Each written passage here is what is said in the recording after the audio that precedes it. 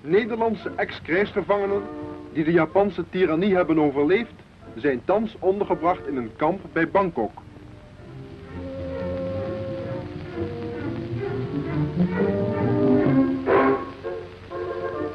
Goede voeding en lichamelijke oefening zullen hen de doorstane ellende hopelijk spoedig doen vergeten.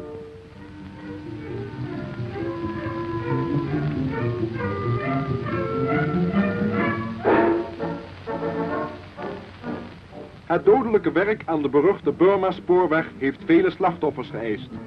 Deze spoorlijn werd dwars door de wildernis aangelegd met de meest primitieve gereedschappen.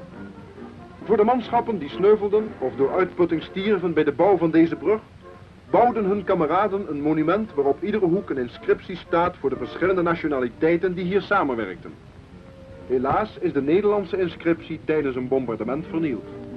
Uitstapjes naar Bangkok brengen de mannen wat afleiding. Hier raakt het westen het oosten. Prachtige moderne wijken wekken de indruk van een West-Europese stad.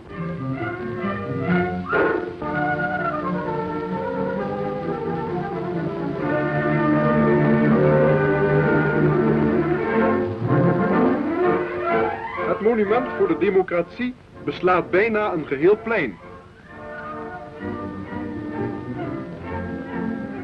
Maar de oude Siamese tempels doen in grootsheid niet onder voor de nieuwere opvattingen.